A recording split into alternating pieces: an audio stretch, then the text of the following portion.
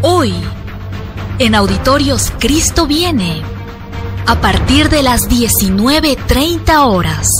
O cuando Daniel recibe la revelación de la profecía de las 70 semanas y dice, vi al varón Gabriel volando con presteza a la hora de la tarde. Varón. Varón es sexo masculino. Amén. Y por supuesto también el profeta Zacarías cuando ve a aquellas mujeres aladas con alas como de cigüeña, llevando el efa, en el cual, dentro del cual está la maldad, para que le sea edificada casa en la tierra de Sinar, en la tierra de los caldeos en Irak. Mujeres aladas con alas de cigüeña. La palabra mujer implica, significa sexo femenino. ¿Me entienden? De tal manera que simplemente voy recordando esto que ya deberían conocer ustedes porque es básico, elemental. De tal manera que comprendamos en forma específica cómo fue en los días de Noé.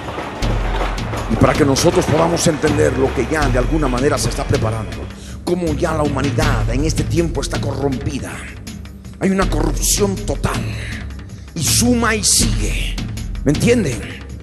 Y ya para el tiempo en que se desate el sexto sello, por supuesto que las mujeres corrompidas y los hombres corrompidos van a estar recibiendo con mucho agrado la presencia de ángeles caídos, como en los días de Noé. ¿Me están entendiendo?